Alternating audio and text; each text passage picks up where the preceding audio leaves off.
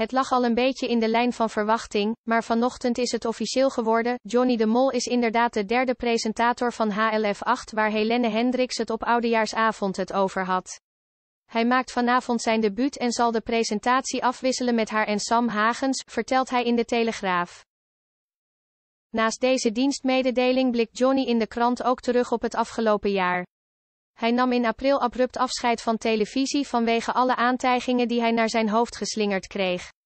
Vanwege de uitgelekte aangifte van zijn ex-vriendin Shima Kaas ontstond er destijds een sfeer waardoor de presentator eigenlijk niet verder kon. Het strikken van gasten werd volgens insiders steeds lastiger voor Johnny, al heeft alleen Emma Wortelboer in het openbaar gezegd dat ze niet meer bij hem aan wilde schuiven.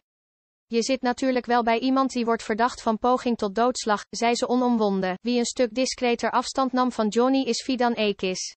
De presentatrice kwam na het uitlekken van de aangifte opeens niet meer opdagen als Johnny's sidekick. Ze werd plotseling vervangen door Martijn Koning. Hey, Fidan heeft een baard en een centenbak, merkte columnist Jan Dijkgraaf Sini. Johnny bevestigt vandaag in de krant dat Fidan inderdaad niet meer wilde. In de media werd gesuggereerd dat er heel veel mensen waren die niet meer wilden aanschuiven bij HLF 8.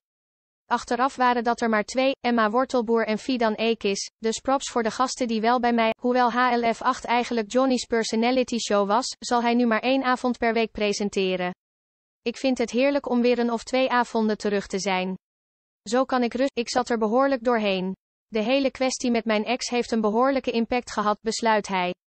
Die hele zaak hing als een donkere wolk, als een zwaard van Damocles, boven mijn hoofd. Geen moment was het uit mijn gedachten. Het voelde, ja,